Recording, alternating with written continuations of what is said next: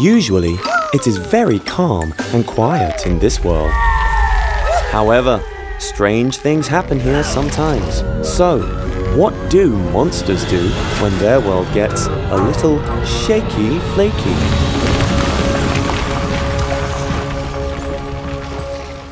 Assess the situation. Check yourself. Do you feel okay? Can you move? No pain? No strange sensations? Move carefully and try to stay safe. It is important to stay put and to stay safe. Check on other people you can see, hear or reach physically. Talk to them and stay together. Review resources for your independent survival during the next few days and nights. Water supply is critically important. It is useful to have food. Think of some other items for your survival kit list. Perhaps some protection from cold, rainy or sunny weather. Look around to assess for any further danger and find ways to evacuate. Seek out any information on the threat and also any possible rescue operation. Communicate about yourself to other people. If you need help, call out for it and look for it if you can.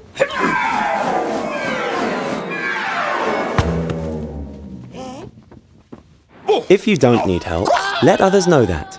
If it's possible, you may also send a Facebook or Twitter update telling everyone that you're okay, informing them about support and help that you can offer and how to find you.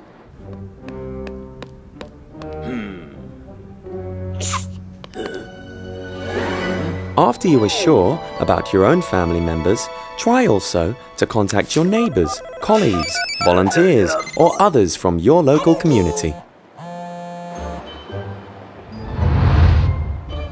Look for community gathering spots in your neighbourhood.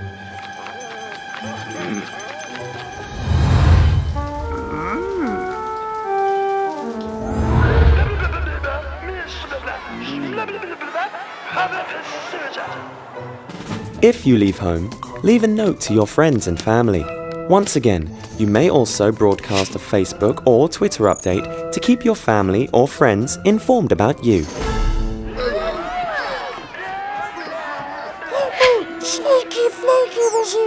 Establish contact with the official and professional rescue operation.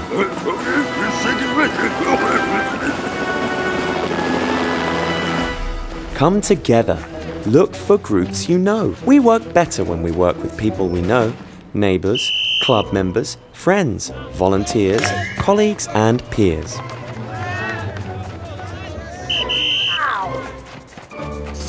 Share what you know. Collect information and make it visible for others. Oh, Make plans on how you could coordinate your initiatives to help with official rescuers.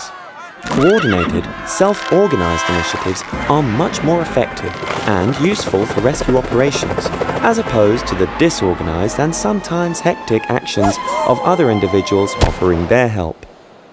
You can see the monsters are ready to act, which means assess yourself and the situation, communicate and share and come together for better help. Here and now, talk to your peers about what you can do. Remember the elderly and those who live alone in your neighborhood. They're vulnerable and they may need more assistance. Prepare emergency supplies for about three days and nights.